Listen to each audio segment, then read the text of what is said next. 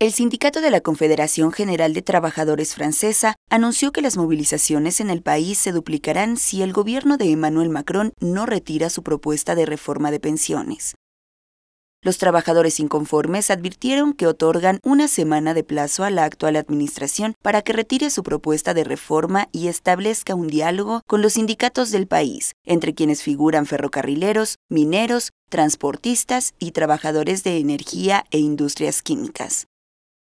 Edouard Philippe, primer ministro de Francia, anunció que tiene la puerta abierta para negociar con los inconformes y que se reunirá con los sindicatos la próxima semana. Además, el sector salud también ha expresado su inconformidad ante recortes anunciados por Macron, consecuencia de la restricción de presupuesto dictada contra los hospitales públicos. Alrededor de 660 médicos que trabajan en hospitales amenazaron con renunciar si la ministra de Sanidad, Agnes Busny, no entabla negociaciones reales con el sector para aligerar la presión presupuestal.